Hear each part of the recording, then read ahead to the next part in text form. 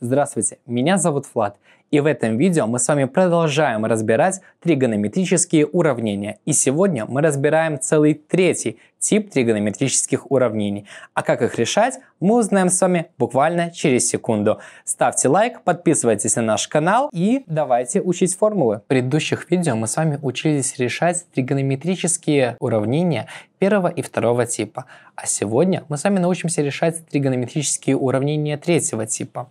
Напоминаю, это уравнения, в которых а находится в промежутке от минус 1 до 0 или от 0 до единицы, не включая данные значения. Минус 1, 0 и 1 – это частные случаи, которые выводятся из окружности.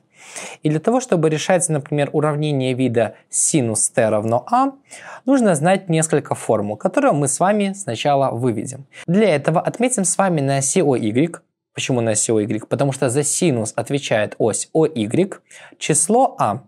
И проведем через это число горизонтальную прямую. Тогда наша прямая пересечет окружность в двух точках, право и слева.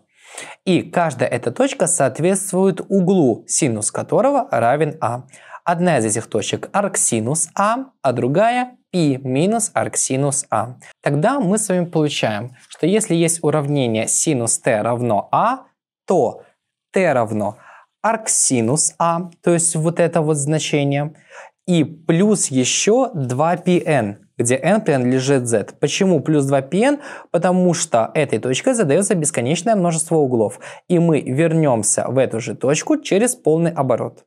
Либо же еще π минус арксинус а t равно π минус арксинус а. И также добавляем обязательно 2πn, потому что эта точка тоже задает бесконечно много углов. И вернемся мы в нее через полный оборот окружности 2π. Обязательно нужно поставить знак объединения этих двух уравнений. Вот мы их с вами и вывели t равно арксинус а плюс 2πn, где n принадлежит z, или t равно π минус арксинус а плюс 2πn, n также принадлежит z. Эти две формулы можно объединить в следующую. t равно минус 1 в степени n умножить на арксинус а плюс pn, где n принадлежит z.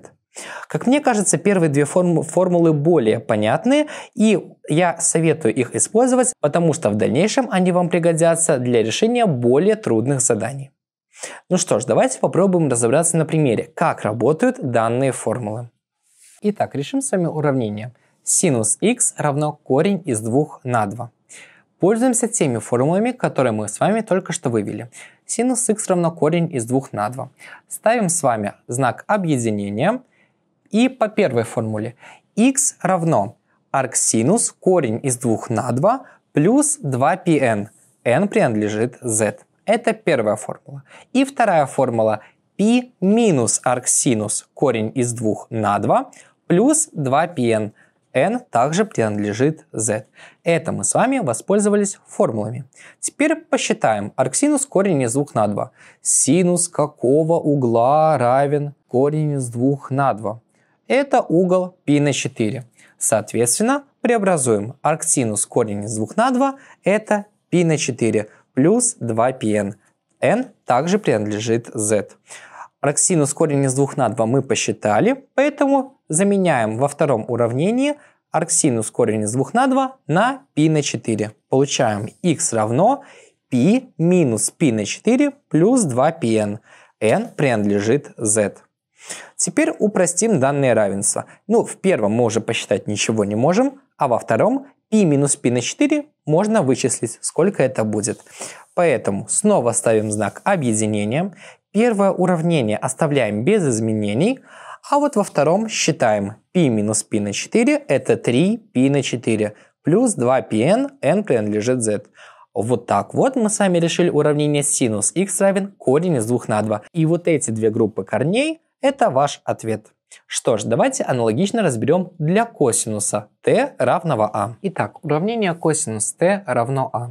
Для того, чтобы вывести формулу для решения данного типа уравнений, мы с вами также воспользуемся тригонометрической окружностью.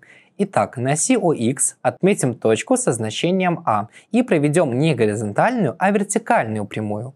Тогда наша прямая пересекает окружность в двух точках – сверху и снизу.